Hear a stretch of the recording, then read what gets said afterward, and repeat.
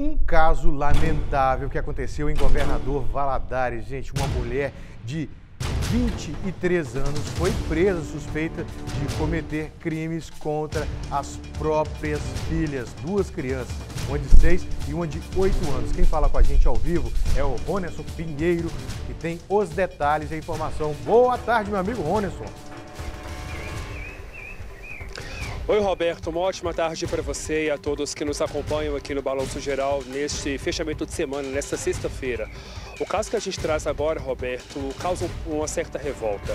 A Polícia Civil de Minas Gerais prendeu nesta quinta-feira em flagrante essa mulher.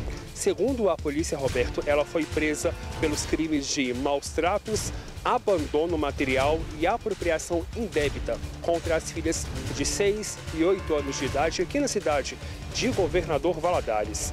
É, os vizinhos, Roberto, estão revoltados porque uma das crianças ela é portadora de deficiência cerebral e é assistida pelo BPC, que é o benefício de prestação continuada.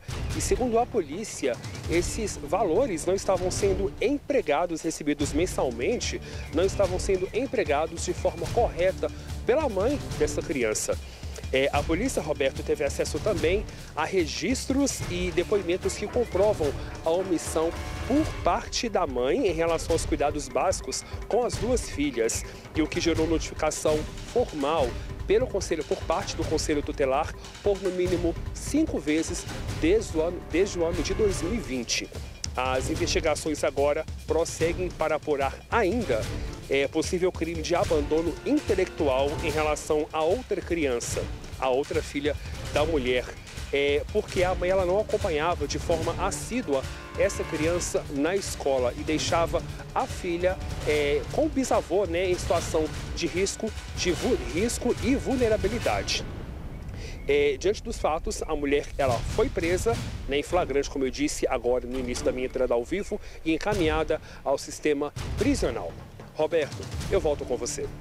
Lamentável, que caso, que coisa. Logicamente, o Conselho Tutelar de Governador Valadares está acompanhando bem de perto, bons profissionais, viu gente? Que tem lá justamente para poder manejar essa coisa e ter menos impacto na vida social dessas crianças. Bom, obrigado por enquanto.